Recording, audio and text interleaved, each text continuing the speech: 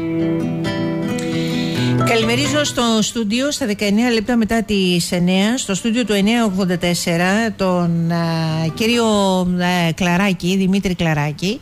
Είναι ο συντονιστής της Νομαρχιακής Επιτροπής του ΣΥΡΙΖΑ. Νομίζω ότι μετά και την χθεσινή συνεδρίαση της Κεντρικής Επιτροπής του κόμματος έχει και ένα παραπάνω ενδιαφέρον να ακούσουμε και από εκείνον πώς μεταφράζεται όλοι, όλα αυτά τα οποία ακούστηκαν ε, στην χθεσινή ημέρα και από τον πρόεδρο του ΣΥΡΙΖΑ, Προοδευτική Συμμαχία, Αλέξη Τσίπρα. Καλώς ήρθατε. Καλημέρα εσά και στου κρατέ. Ευχαριστώ για την πρόσκληση. Τώρα, κύριε Κλαράκη, θέλω, θέλω από εσάς ε, την πρώτη σας ε, την, την εκτίμηση, το πρώτο σας το σχόλιο για αυτά τα οποία ακούστηκαν και μαζί με το σχόλιο θα ήθελα να ακούσω αν είσαστε ικανοποιημένος από αυτά τα οποία ακούστηκαν ή αν θα περιμένατε κάτι άλλο. Καταρχάς να μου επιτρέψετε να ευχαριστήσω τους χιλιάδες Ηρακλειώτες και Ηρακλειώτησες που έτρεξαν μαζί μας σε μια δύσκολη προεκλογική περίοδο, βοήθησαν με τον κάθε τρόπο, στελέχη, μέλη, φίλους, εθελοντές και όλους όσοι σε αυτή την κάλπη τη δύσκολη της Κυριακής μας ψήφισαν, μας έδειξαν την εμπιστοσύνη τους και δεσμευόμαστε ότι θα τιμήσουμε με την μαχητική μας διάθεση και τον αγώνα που θα δώσουμε για τις δεύτερες εκλογές 25 Ιουνίου τη δική τους εμπιστοσύνη και ευχαριστούμε και όλους εκείνους που δεν μας ψήφισαν και τους καλούμε να ακούσουν το πρόγραμμά μας, να έρθουμε σε μια ανοιχτή επικοινωνία και σε ένα ανοιχτό διάλογο μέχρι τις κάλπες για να τους πείσουμε ότι υπάρχει μια εναλλακτική προοδευτική κυβερνητική πρόταση αυτή του ΣΥΡΙΖΑ Προοδευτική Συμμαχία. Χθες έγινε, όπως είπατε, η Κεντρική Επιτροπή με την ομιλία του πρόεδρου μας, του Αλέξη του Τσίπρα. Νομίζω, αν μπορούσα να συνοψίσω σε δύο-τρεις λέξεις αυτά που ακούσαμε, ο πρόεδρος μας ενέπνευσε, μας οδηγεί και νομίζω μας ε, ε, διήγηρε και την διάθεση και την αισιοδοξία και την ελπίδα για να δώσουμε μια δύσκολη μάχη γιατί υπάρχει η δυναμική της πρώτης κάλπης Παρά τα αυτά, στι 25 Ιουνίου στείνονται νέες κάλπες. Οι κάλπες είναι άδειες και θα διεκδικήσουμε κάθε ψήφο μέχρι την τελευταία στιγμή για να πετύχουμε το καλύτερο δυνατό αποτέλεσμα και μια ανατροπή των πολιτικών συσχετισμών που έχουν ε, διαμορφωθεί στις κάλπες της 21η Μαου που μας, την Κυριακή που μας πέρασε. Είστε ικανοποιημένος; Από το αποτέλεσμα προφανώς δεν είναι ικανοποιημένος κανένας. Όχι, όχι. Α, είσαστε ικανοποιημένος από α, τη χθεσινή διαδικασία. Το ερώτημά μου ήταν για τη χθεσινή διαδικασία στην Κεντρική Επιτροπή. Προφανώς και είμαι ικανοποιημένος, γιατί δεν είναι η ώρα ούτε για πολύ ώρε συζητήσεις, ατέρμονες συνεδριάσεις και εσωστρέφεια, ούτε για αναπαραγωγή γκρίνιας. Νομίζω έπρεπε να στείλει ένα ξεκάθαρο μήνυμα που να μην θολώσει από την εσωστρέφεια. Το μήνυμα εστάλει, συναγερμός μάχης, προχωράμε όλοι μαζί μπροστά, ενωτικά, αναγνωρίζουμε τα λάθη, πήραμε το μήνυμα, ξέρουμε τι πρέπει να αλλάξουμε, ξέρουμε τι πρέπει να κάνουμε και θα πέσουμε όλοι μαζί στη μάχη, ώστε στις 25 του Ιούνιου να πετύχουμε ένα πολύ καλύτερο αποτέλεσμα, όχι για να μην χάσουμε, όχι για να διατηρήσουμε τις θέσεις μας όπως είπε ο πρόεδρος, αλλά για να διεκδικήσουμε κάθε ψήφο και κάθε πιθανότητα που έχουμε ακόμα και να κερδίσουμε αυτές τις εκλογές. Ξέρουμε τι πρέπει να κάνουμε. Ξέρουμε ποιο είναι το μήνυμα που μας έστειλαν. Εμπιστοσύνη, υπάρχει εναλλακτική λύση, δεν υπάρχει θολούρα, άσχετα με το τι λέει ο κύριος Ξιδάκης, έτσι, που μας μιλάει για θολούρα. Ε, νομίζω ότι προσβάλλει ο κύριος Ξιδάκης όταν κάνει αυτές τις δηλώσεις και όταν από την άλλη ε, δίνεται μία μάχη ε, και εσωκομματικά, γιατί δεν θα μείνω στο εσωκομματικό, θα, θα πάω στο, σε αυτό το μήνυμα που έστειλε η κάλπη και το πόσο εσείς το αντιλαμβάνεστε αυτό το μήνυμα και το μεταφράζετε για την κοινωνία και για τον καθένα από εμάς που μπορεί να ψήφισε ΣΥΡΙΖΑ αλλά αυτή τη φορά δεν ψήφισε ΣΥΡΙΖΑ ή είναι με το ένα πόδι από τη μία και από την άλλη λέγοντας ότι για να ξανακούσουμε αυτά τα οποία μας λένε. Θολούρα και σύνδρομο της Στοχόλμης δηλαδή. Κυρία Δουλγεράκη να είμαι πολύ ξεκάθαρος. Και ήταν και ο πρόεδρος εχθές πολύ ξεκάθαρος. Ο λαός είναι κυρίαρχος, είτε μας ψηφίζει είτε μας καταψηφίζει. Και δεν είμαστε ο λαός για αυτό που γίνεται. Αν εμείς δεν επικοινωνήσαμε επαρκώς το πρόγραμμά μας, δεν είχαμε ένα καθαρό αφήγημα, η θολούρα ήταν στη δική μας πλευρά και όχι στην πλευρά του λαού. Απλά είναι τα πράγματα. Πρέπει να πάμε με ένα πολύ καθαρό μήνυμα, το έθεσε χθες ο πρόεδρος, με πολιτική προσέγγιση της κατάστασης για να εξειδικεύσουμε και να εξηγήσουμε ακριβώς το δικό μας προοδευτικό πρόγραμμα απέναντι στο αντίστοιχο πρόγραμμα της Νέας Δημοκρατίας που είναι στον αντίποδα των νεοφιλελεύθερων πολιτικών και να πείσουμε όλους εκείνους που δεν μας ψήφισαν ή δεν κατέβηκαν καν στην κάλπη να ψηφίσουν και να ξαναφέρουμε στην κάλπη όλους εκείνους που μας τίμησαν με την ψήφο τους για να δώσουμε μία μάχη ενωτικά, μαζικά, συλλογικά και στο τέλος της 25 του Ιουνίου να καταγράψουμε ένα πολύ καλύτερο αποτέλεσμα. Δεν έχει κανένα νόημα να τα βάζουμε με τον κόσμο, με τους ψηφοφόρους ή με οτιδήποτε άλλο. Πρέπει να δούμε τα δικά μας λάθη, τις δικές μας παραλήψεις και την τακτική του πολιτικού αντιπάλου μας. Πού πιστεύετε ε, ότι ήταν εκείνα τα σημεία στα οποία πραγματικά πήγατε προς τα πίσω; Γιατί αυτή η μεγάλη διαφορά κάτι δείχνει κάπου πήγατε πίσω ή σε πολλά σημεία πήγατε πίσω ε, γιατί καταφέρατε εγώ δεν σας, θα σας πω να με κερδίσετε αλλά γιατί καταφέρατε να με χάσετε τι δεν κάνατε καλά σε αυτό τον απολογισμό σας τι λέτε κύριε Κλαράκη; Το λέω σε εσάς γιατί γιατί εσείς κοιτάτε στα μάτια εμένα ε, γιατί εσείς περπατάτε στους δρόμους του Ηρακλείου και κοιτάτε τον καθένα από εμάς. Όταν ακούτε τους συνταξιούχους να λένε ότι ξέρετε πήγαμε με το άλλο κόμμα. Όταν ακούτε ανθρώπους της εργατιάς να λένε ότι πήγαμε τη Νέα Δημοκρατία. Όταν ακούτε ανθρώπους οι οποίοι διαμαρτυρόντουσαν και διαμαρτυρόντουσαν ηχηρά όλα αυτά τα χρόνια αλλά ψήφισαν τη Νέα Δημοκρατία, διαμαρτυρόντουσαν με την πολιτική της Νέας Δημοκρατίας, αλλά ψηφίστηκε η πολιτική της Νέας Δημοκρατίας, ε, καταφέρατε να με χάσετε. Για να ακούσω λοιπόν πολύ προσεκτικά. Νομίζω έβαλε και τρεις βασικούς άξονες. Είναι πολυπαραγωγικά τα αίτια της ΣΥΤΑΣ, το είπε και ο πρόεδρος εχθές. Ε, δεν μπορούμε να μπούμε σε όλα τώρα. Νομίζω όμως ότι υπήρχαν τρεις βασικοί πυλώνες. Ο πρώτος, σαν τη Νέα Δημοκρατία κατάφερε να επιβάλλει με μια ξεκάθαρη προεκλογική καμπάνια και με ένα πολύ σαφές και απλό μήνυμα ε, το δικό της στίγμα θέλουμε μια δυνατή αυτοδύναμη κυβέρνηση και μετέφερε, μετέφερε κατ' ουσίαν χρησιμοποιώντας και μια υπεροπλία που έχει στα μέσα ενημέρωσης και πάρα πολλά χρήματα που έριξε, όλη την κουβέντα τι κάναμε εμείς το 15-19. Δηλαδή, ε, άκουγα τα πάνελ και εγώ που βρέθηκα σε πάνελ, πιο πολύ να συζητάμε τι έκανε ο Κατρούγκαλος το 18. Φταίει βέβαια και ο Κατρούγκαλος με τη δήλωση που έκανε, που γύρισε το χρόνο πίσω. Ε, για τις πρέσπες, ε, για το τοίχο του Εύρου. Ε, στο οποίο για να πάω και στο δεύτερο, σε πάρα πολλά από αυτά δώσαν πάσα δικά μας στελέχη με άστοχες δηλώσεις σε εντελώς άκυρη στιγμή. Προεκλογικά δεν πας να εκθέσεις προσωπικές σου απόψεις ή τη δική σου ε, ατζέντα ή τη δική σου γνώμη όταν υπάρχει επίσημα εκπεφρασμένη άποψη του κόμματος, κεντρική, υπάρχει πρόγραμμα. Δεν μπορείς εσύ ας πούμε, να λες ότι η μεσαία τάξη είναι στα 5.000 ευρώ. Αυτό είναι ανήκουστο. Όταν η Ευρώπη έχει θέσει το όριο του στόχου στα 7,5. Και εμείς μιλάμε ότι η μεσαία τάξη σε ποια χώρα είναι η μεσαία τάξη στα 5.000 ευρώ. Όχι όμως ευρωπαϊκή χώρα σίγουρα. Το δεύτερο είναι ότι σε αυτό συνέδραμα δυστυχώς πάρα πολλά λάθη και πολυγλωσία και άστοχες δηλώσεις ε, που έδειχναν μια εικόνα που προέδιδε ένα έλλειμμα συνοχής, υπευθυνότητας και αξιοπιστίας στο εκλογικό σώμα. Όταν ο, ο κόσμος ακούει ε, τον Κατρούγκολο, ο οποίος τελικά έκανε αρκετή ζημιά από ό,τι φαίνεται. Φαίνεται και από τα ποιοτικά χαρακτηριστικά των exit polls που διαβάζουμε ξαφνικά να ανοίγουμε ένα θέμα το οποίο είναι ξεκάθαρος στο πρόγραμμά μας ότι έχει κλείσει και υπάρχει μια άλλη θέση, ε, νομίζω ότι βάλαμε και εμείς το δικό μας ε, λιθαράκι στο να βοηθήσουμε την Νέα Δημοκρατία να επιβάλλει το κυρίαρχο αφήγημά της και να μετατοπίσει την κουβέντα στα λάθη της προηγούμενης κυβέρνησης και όχι στα δικά της. Και νομίζω και να πάμε και στην απλή αναλογική, η οποία ήταν μια αξιακή θέση της αριστεράς. Καλώς τη φέραμε. Καλώς την υπερασπιστήκαμε, αλλά όταν απριόρι όλες οι πολιτικές δυνάμεις προοδευτικού χώρου, τα μικρότερα κόμματα που θα έπρεπε να υπερασπίζονται την απλή αναλογική, που ήταν και θέση τους και αξιακή τους θέση, απριόρι σου λένε δεν θέλουν καμία συνεργασία. Απριόρι όμως, εκ των προτέρων, ουσιαστικά κλείνουν όλες τις πόρτες ή βάζουν όρους που ουσιαστικά κλείνουν κάθε πόρτα στη συζήτηση.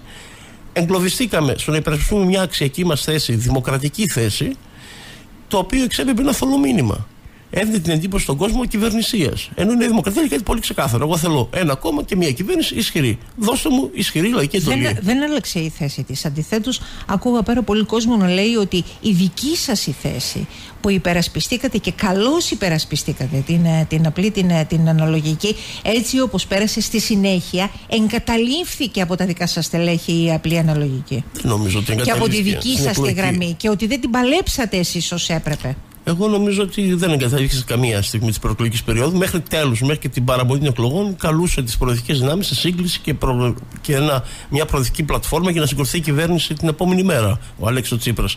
Νομίζω το αντίθετο. Εξίδλησε κάθε όριο υπομονής, ανοχής και προσέγγισης στα κόμματα του ευρύτερου προοδευτικού χώρου, τα οποία τα γνωρίζουμε, στον χώρο της αριστεράς, αλλά όταν όλος αυτός ο χώρος των μικρότερων κομμάτων που ωφελήθηκαν από τις έδρες που έλαβαν με την απλή λογική, σου βάζουν μπλόκο, κατ' ουσίαν ακυρώνουν την ίδια τη φιλοσοφία και το DNA της απλής αναλογικής που είναι οι συνεργασίες. Όταν δεν υπάρχει διάθεση συνεργασίας, η απλή αναλογική δυστυχώς αυτό κυρώνεται. Είναι ένα σύστημα το οποίο είναι πολύ δημοκρατικό, πολύ ε, πιο αντίστοιχο της κοινωνίας προς το τι υπάρχει μέσα στη Βουλή. Παρά τα αυτά όμως, όταν δεν υπάρχει διάθεση στις πολιτικές δυνάμεις να συνεργαστούν, ακυρώνεται, δεν μπορεί να λειτουργήσει. Και εμείς αυτό ζήσαμε. Η αλήθεια είναι ότι σοφότερους δεν μας έκανε και αυτή η ομιλία του κυρίου Τσίπρα αλλά από την άλλη δίνει το στίγμα για το πώς συνεχίσετε και πάτε παρακάτω. Είπατε ότι ξέρετε μάλλον θολούρα υπήρχε στο ΣΥΡΙΖΑ με όλα αυτά τα οποία έγιναν και όχι στο λαό μετά και τις δηλώσεις του κυρίου Ξεδάκη, τις αστοχίες, τα λάθη κλπ. κλπ. Ωραία. Πάμε σε μια νέα προεκλογική ε, περίοδο. Πάμε στην κάλπη 25 ε, του μήνα. Ας το δούμε λίγο σας παρακαλώ πιο πρακτικά, αν έχετε τη μεγάλη την καλοσύνη, για να καταλάβουμε τι είναι αυτό το οποίο θα πρέπει εμείς από τη δική μας την πλευρά να καταλάβουμε ότι εσείς καταλάβατε. Πρώτα απ' όλα να πω ένα σχόλιο για το αποτέλεσμα. Ε, ζήσαμε το παράδοξο το κυβερνητικό κόμμα που ολοκληρώνει μια τετραετή θητεία να μην έχει ούτε καν αυτή τη στοιχειώδη συνηθισμένη διόρθωση του ποσοστού του λόγω της κυβερνητικής φθοράς που πάντα υπάρχει σε ένα κόμμα που κυβερνάει τέσσερα χρόνια, πολύ δε περισσότερο με όλα όσα συνέβησαν την τετραετία που μας πέρασε. Αντιθέτως, είχε και μία μικρή άνοδο. Μικρή μεν, ενδεικτική όμως το τι αλλαγών γινόταν στο εκλογικό σώμα και πώς ψήφισε το εκλογικό σώμα την τελευταία φορά. Το δεύτερο παράδοξο είναι μια χαοτική διαφορά του πρώτου με το δεύτερο, την οποία δεν την ανέμενε κανένα κομματικό επιτελείο, ούτε το δικό μας, ούτε τη Νέας Δημοκρατίας, ούτε του Πασόκ. Το οποίο δεν καταλάβαμε πώς σε ένα κλίμα απίστευτης βουβαμάρα διαμορφώθηκε μια βουβαμάρα η οποία γίνεται ακόμη πιο βαριά την επόμενη των εκλογών και κάνει ακόμη πιο δυσερμήνευτο να μείνουμε στην επιφάνεια το πώς διαμορφώθηκε όλο αυτό. Παρά τα αυτά υπάρχουν ερμηνείες, δεν ανάγονται στη σφαίρα του μεταφυσικού. Δεν είναι όμως τώρα ο χρόνος να κάνουμε βαθισόχε αναλύσεις. Έχουμε κάποια πρώτα στοιχεία το τι ακριβώς έγινε και πώς κινήθηκε το εκλογικό σώμα και γιατί. Εμείς, όπως πολύ καλά είπατε, δεν έχουμε χρόνο για ισοστρέφεια και ισοκομματικέ γκρίνιε και διαδικασίες. Έπρεπε ο πρόεδρος να δώσει χθες πολύ γρήγορα, άμεσα το συναγερμό της μάχης με ένα ξεκάθαρο και όχι θολό μήνυμα προς τη βάση, προς το κόμμα, τα στελέχη, τους φίλους, να τονώσουν την αισιοδοξία και την ελπίδα και να συσπηρώσει. Αυτό έκανε. Αυτός ήταν ο σκοπός της χθεσινής κεντρικής επιτροπής. Σε δεύτερο χρόνο μετά τις εκλογές θα έχουμε τον χρόνο και την άνεση να συζητήσουμε ε, ενδελεχώς τι συνέβη στις πρώτες και στις δεύτερες κάλπες και με ποιο τρόπο και γιατί κινήθηκε όπως κινήθηκε το εκλογικό σώμα και τι ποσοστό καταγράψαμε εν τέλει. Θεωρώ όμως ότι καθήκον μας από χθες, από την επομένη των εκλογών, ως κόμμα είναι να δώσουμε με σαφήνεια το πρόγραμμά μας στον ελληνικό λαό να γίνει κατανοητό. Λέξη-λέξη, κομμάτι-κομμάτι, ότι υπάρχει κυβερνητικό πρόγραμμα, σοβαρό κυβερνητικό πρόγραμμα που δίνει προοπτική όραμα και ελαφρώνει τους πάντες από τους μικρομεσαίους μέχρι τα λαϊκότερα στρώματα και τα χαμηλό εισοδηματικά στρώματα, να αποφύγουμε τις ε, μικροπολιτικές κόντρες που θυμίζουν εμφύλιο στην κεντροαριστερά να μην πούμε σε αυτή τη διαδικασία, το είπε ξεκάθαρο. Ο πρόεδρος, πολιτικός μας αντίπαλος είναι η δεξιά και οι πολιτικές της, είναι οφειλελεύθερη ατζέντα και όποιος την υποστηρίζει. Πρέπει λοιπόν με πολύ καθαρό μήνυμα και όχι θολό και με μια καλή προεκλογική καμπάνια που θα περνάει αυτό το μήνυμα ότι υπάρχει το προοδευτικό πρόγραμμα και το συντηρητικό πρόγραμμα, το νεοφιλελεύθερο. Και βάσει αυτού με πολύ ξεκάθαρο τρόπο να εξηγήσουμε στον ελληνικό λαό τι προτείνουμε εμείς και να ζητήσουμε την ψήφο του και την εμπιστοσύνη του. Διότι δεν καταφέραμε να το επικοινωνήσουμε παρκώς αυτό. Περισσότερο ακούς και ένας αχώ μάχης, λίγο θόρυβος, λίγο σκόνη, ένας αχταρμάς αντιπαραθέσεων που όμως δεν καταλάβαινες και έμενε το κυρίαρχο αφήγημα της κυβέρνησης: Είμαι εδώ, είμαι σταθερός, ψηφίστε με για σταθερότητα. Και δινόταν μία εντύπωση από εκεί και πέρα ενός συνόλου κομμάτων τα οποία διαγωνίζονταν ο καθένας με το δικό του λόγο. Όχι. Αυτή τη φορά πρέπει να δώσουμε τη δική μας ατζέντα, να είναι πολύ ξεκάθαρη. Μπροστά ο πρόεδρος, πίσω όλοι να στοιχηθούμε σε μία γραμμή, στην επίσημη γραμμή του κόμματος, στις προγραμματικές θέσεις του κόμματος, χωρίς πολυφωνίες, γλωσσίες και αντιφατικές δηλώσεις, να αποφύγουμε λάθη, αστοχίες του παρελθόντος, να αποφύγουμε ελλείψεις που υπήρξαν το προηγούμενο διάστημα και συντεταγμένα, ενωτικά, μαζικά και συλλογικά, με υπευθυνότητα και σοβαρότητα, γιατί ο πρόεδρος είπε χθες δεν λέω να κάνουμε στροφή ούτε προς αριστερά ούτε προς το κέντρο. Λέω να κάνουμε στροφή προς τη σοβαρότητα, την υπευθυνότητα και τη συλλογικότητα. Με αυτό γνώμονα πηξίδα μπούσουλα θα κατευθυνθούμε στις κάλπες τη 25η Ιουνίου. Να βρεθούμε κοντά στο λαό, κοντά στους ανθρώπους που είτε μας ψήφισαν τώρα, είτε μας είχαν ψηφίσει στο παρελθόν, είτε σκέφτονται ότι θα ψηφίσουν τώρα, ακόμα και αυτούς που ψήφισαν Νέα Δημοκρατία, να τους πείσουμε ότι υπάρχει άλλος δρόμος και η σταθερότητα δεν ταυτίζεται με την Νέα Δημοκρατία. Η σταθερότητα δεν ταυτίζεται με τον Κυριακό Μητσοτάκη και να πούμε ότι αν υπήρξαν ακόμα που θυσίασε ακόμα και την ε, εκλογική μάχη και την εκλογική του προοπτική για τη σταθερότητα της χώρας, αυτή ήταν η κυβέρνηση του 2015-19. Που κόντρα σε όλες τις απόψεις, τις αντιλήψεις και το πρόγραμμα που ψηφίστηκε το Γενάρη, προτίμησε να προτάξει τη σταθερότητα της χώρας, την ευρωπαϊκή προοπτική της χώρας, την παραμονή στο ευρώ και τη συνέχεια και την ευημερία του λαού και να ψηφίσει ένα πρόγραμμα εν τέλει, μετά από και τις δεύτερες κάλπες που ο λαός επικύρωσε τη συμφωνία, και στο τέλος της θητείας της να πληρώσει το λογαριασμό ενός δύσκολου προγράμματος που το έφερε όμως στις πέρε και έβγαλε τη χώρα από τα μνημόνια. Αυτό σημαίνει σταθερότητα. Να πας κόντρα με μια ηθική ευθύνη, ακόμα και σε θέσεις σου και αρχές σου, προκειμένου να διασώσεις τη χώρα σου και να διασφαλίσεις τη βιωσιμότητά της.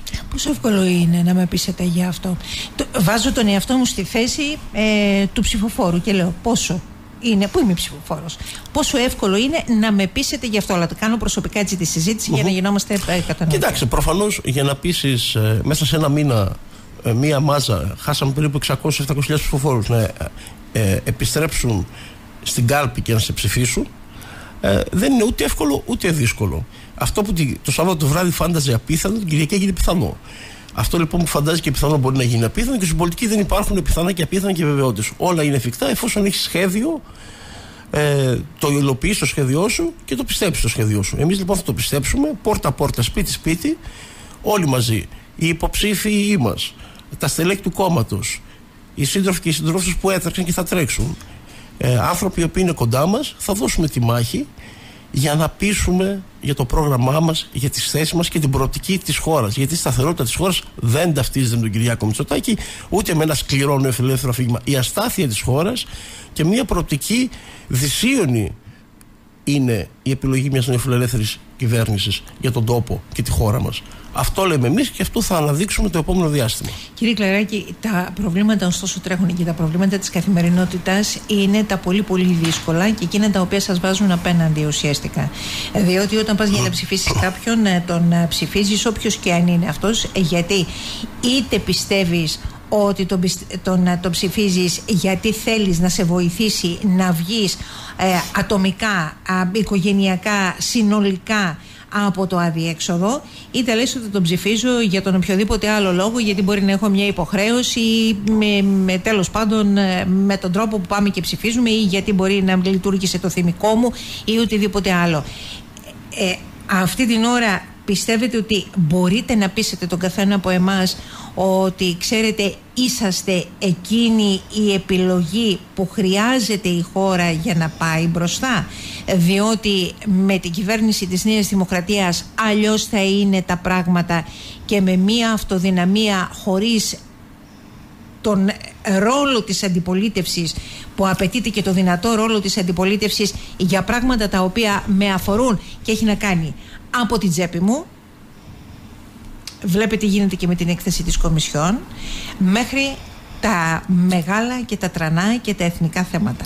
Κοιτάξτε, εμείς θέλουμε να υπάρξει αυτό που λέτε. Σταθερότητα στο πολιτικό σύστημα και σταθερότητα στο πολιτικό σύστημα δεν είναι μια ανασύσταση ενός παλαιά σκοπή δικοματισμού, αλλά να υπάρχει ένας ισχυρός προοδευτικός πόλος που είναι ο ΣΥΡΙΖΑ Προοδευτικής Συμμαχίας για να εξορροπεί το πολιτικό σύστημα, είτε είναι η κυβέρνηση είναι δημοκρατία, είτε είναι η κυβέρνηση για ένα προοδευτικό κόμμα.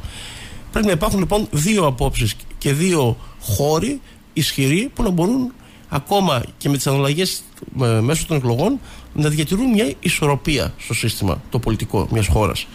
Λέμε λοιπόν ότι ο ΣΥΡΙΖΑ θα είναι ο σταθερός προοδευτικός πυλώνας που θα εκφράζει του δημοκρατικούς προοδευτικούς πολίτες. Το δεύτερο που λέτε για την ε, σταθερότητα, ακριβώς αυτό είναι το διακύβευμα. Να καταλάβει ο ελληνικός λαός, να εξηγήσουμε στον ελληνικό λαό ότι Νέα Δημοκρατία ίσον αστάθεια, ίσον αφαιρεγκαιότητα, ίσον επικίνδυνες καταστάσεις για τη χώρα. Ήδη έστειλε το μήνυμα, καλά το είπα την Κομισιόν, κομμένες τα δωράκια σε πολίτες, ε, αυτό που ονομάζεται δωράκια η κυβέρνηση, γιατί κατ' ουσίαν τα έπαιρνε από την τσέπη φορολογουμένου και τα χάριζε στην κερδοσκοπία και στους μεγάλους ομίλους της ενέργειας και των καυσίμων. Από εδώ και πέρα κόβονται όλα αυτά. Ξεκίνησε ο εύκολος πλησιασμό τη κατασχέση. Ε, Όποιος δεν πληρώνει δεν θα έχει ιατροφαρμακευτική περίθαλψη. Τι σημαίνει λοιπόν η Νέα Δημοκρατία, Σημαίνει ιδιωτικοποίηση της παιδείας, ιδιωτικοποίηση της υγείας και όποιος δεν έχει επαρκή χρήματα δεν θα μπορεί να ζει με ποιότητα ζωής αντάξει μιας ευρωπαϊκής χώρας. Αυτό πρέπει να γίνει πολύ σαφές. Νέα Δημοκρατία δεν σημαίνει απλά μια ωραία γαλάζια σημαία και ευχολόγια είμαστε πατριώτες. Σημαίνει χρέος, διόγκου του χρέους, επικίνδυνες καταστάσεις στην οικονομία, συρρήκνωση του κράτους. Δηλαδή, είδα ότι οι δημόσιοι υπάλληλοι άνθρωποι που είναι μισθοσυντήρητοι ψήφισαν ε, Νέα Δημοκρατία. Έχουν αναρωτηθεί τι σημαίνει για το δημόσιο η συρρήκνωση ή ακόμα και η άρση της μονιμότητας των δημοσίων υπαλλήλων. Έχουν αναρωτηθεί τι σημαίνει για την τσέπη όλων μας, ιδιωτικού και δημόσιου τομέα, είτε ελεύθεροι επαγγελματίες, είτε μισθωτοί, είτε επιχειρηματίες. Τι σημαίνει αυτή η φούσκα του δημοσίου χρέους που έχει διονγκωθεί επί των ημερών της Νέας Δημοκρατίας; Νομίζω αυτά πρέπει να τα δώσουμε με πολύ σαφήνεια στον κόσμο να τα καταλάβει. Δεν τα δώσαμε το προηγούμενο διάστημα, στην προεκλογική μάχη την προηγούμενη.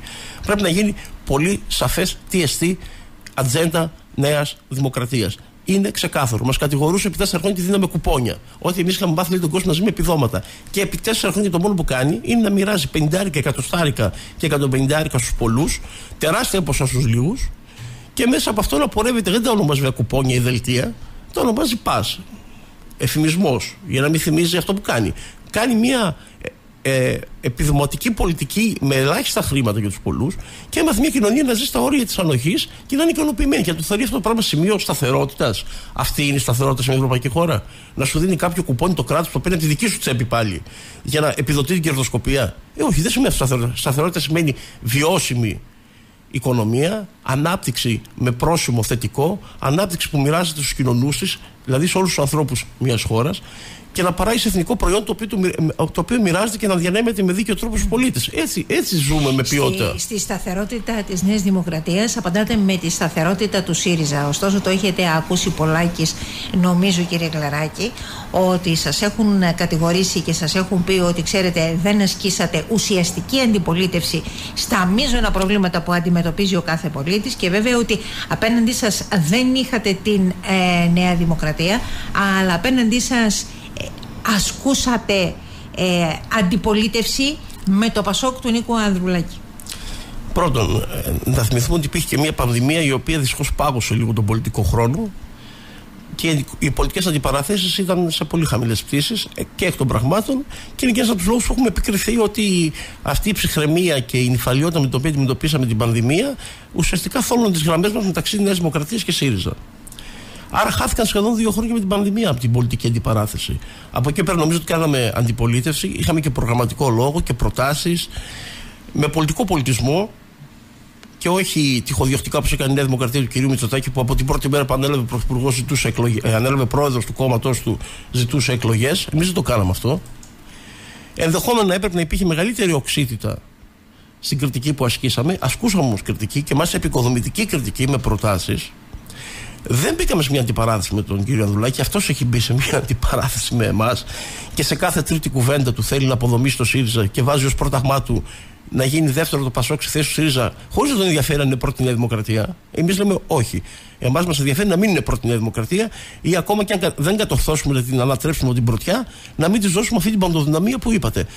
Εμάς, πολιτικός μας αντίπαλος ήταν, είναι και θα είναι και ιδεολογικά και πολιτικά και από άποψη κοινωνικών αντιλήψεων, η δεξιά, η νεοφιλελεύθερη ατζέντα και όποιοι τη στηρίζουν. Και γι' αυτό η δική μας μάχη είναι ένας ισχυρός προοδευτικός πυλώνας που δεν κυνηγάει μικροκομματικά ωφέλη και να τσιπήσει μία-δύο μονάδες σήμερα εις βάρος της κοινωνίας και να έχουμε ένα παντοδύναμο μυτσοτάκι πάνω που θα κάνει ό,τι θέλει, θα διαβετεύει τη χώρα με απόλυτη ηγεμονική διάθεση, αλλά ένα ισχυρό κόμμα το οποίο είτε καταφέρει να εκλεγεί πρώτο δύσκολο λόγω της δυναμικής, όχι όμως απίθανο, τίποτα δεν είναι απίθανο, είτε με μια ισχυρή εξωματική αντιπολίτευση, η οποία θα είναι ανάχωμα και θα ασκεί κριτική, δρυμία κριτική στα λάθη και στις παραλήψεις.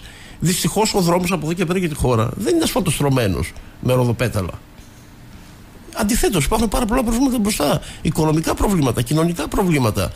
Μία ατζέντα νεοφιλελεύθερη όχι μόνο δεν θα τα λύσει, θα τα επιτείνει θα επαυξηθούν τα προβλήματα. Θα, θα οδηγηθούμε σε καταστάσεις που δεν είναι ευχάριστες για την κοινωνία. Η επόμενη μέρα των εκλογών τι φέρνει για εσάς, ανάλογα με το αποτέλεσμα; Ευθύνη πάρα πολλά. Ευθύνη απέναντι στην ιστορία του κόμματος, στις αξίες μας, στις αρχές μας και στους ανθρώπους που μας τίμησαν και μας τιμούν με την παρουσία τους, με τον αγώνα τους, με την ψήφο τους. Ευθύνη.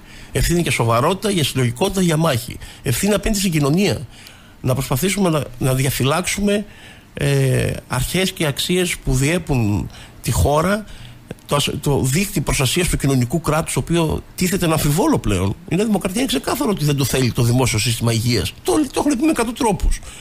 Ε, δεν θέλει τη δημόσια παιδεία. Είναι δεδομένο. Το έχει πει με 100 τρόπους. Ε, δεν θέλει καν το νερό υπό δημόσιο έλεγχο. Το έχει πει με πολλούς πλάγιους τρόπους, ακόμα και αν το αναιρεί δημόσια.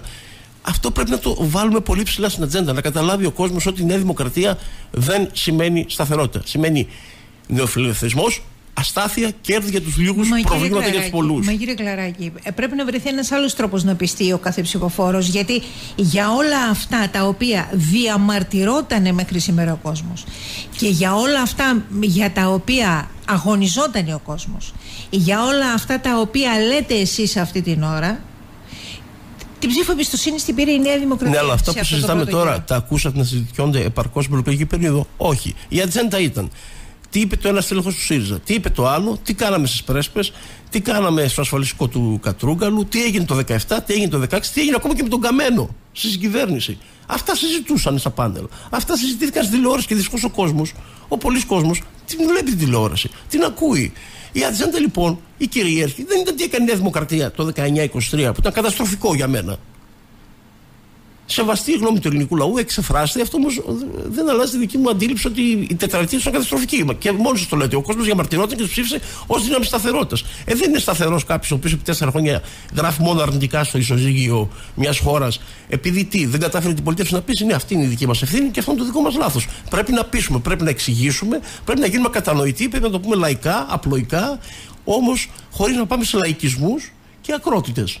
Με πολιτικό λόγο, με, με πολιτικό πολιτισμό, αλλά με πολύ καθαρό τρόπο, με πολύ βροντερό τρόπο, να πούμε ότι ο ΣΥΡΙΖΑ είναι εδώ, ο Αλέξης Τσίπρας είναι εδώ, υπάρχουν θέσεις, υπάρχουν αρχές, υπάρχει και πρόγραμμα, όχι απλά κοστολογημένο και ρεαλιστικό, πρόγραμμα εντελώς διαφορετικό που θα οδηγήσει τη χώρα σε ασφαλές μονοπάτι. Οδηγούμαστε σε πολύ δύσκολες καταστάσεις που δεν τις φαντάζει ο ελληνικός λαός. Μάλιστα. Λέτε η επόμενη μέρα φέρνει ευθύνη, όποιο και είναι το αποτέλεσμα.